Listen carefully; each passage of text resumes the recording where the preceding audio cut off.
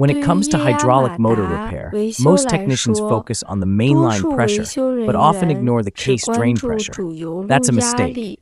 The standard requirement for case drain pressure is usually below 0.3 megapascals. And while that might seem small and insignificant, high drain pressure can lead to serious hidden problems. Let's break it down.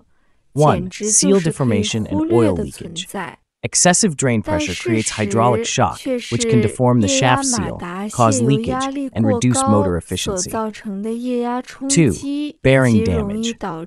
When drain pressure is too high, the lubrication film on the bearings breaks down, leading to increased friction and a shorter lifespan of internal components. 3. Rotor stator seizure. If return oil doesn't flow smoothly, back pressure can build up, causing abnormal contact, internal friction, and in worst cases, motor seizure. These are not rare issues. They're commonly overlooked, but can result in motor failure failure, downtime, and high repair costs.